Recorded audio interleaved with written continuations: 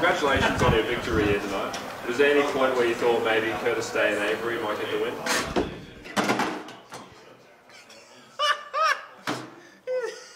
Here's Mark. Hear what he said? No. Right. At uh, Smashing Sandcastles, JXT, you'll be facing the Smash Mouth Ritchie Taylor. Yep. Who earlier tonight was dominant against Tommy Knight.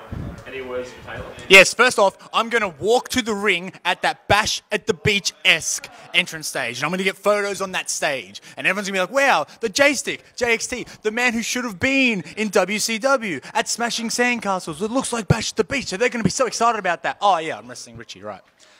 Yeah, so for a long time now, the criticism of the J Stick was that, oh, he's cool and he's over and he sells merchandise, but he's not that good in the ring. What Marks would say that? Ritchie Taylor, Mr. Smashmouth, people think you're one of the best talents in Australia. You're looking at the biggest name in Australian wrestling.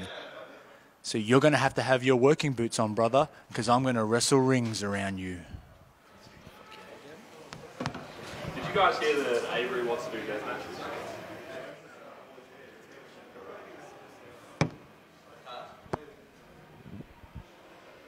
Are you fucking serious? I just dropped you on your head, bitch. And you want to do death matches? You're a fucking child. You want to dance? You can dance with a big rig.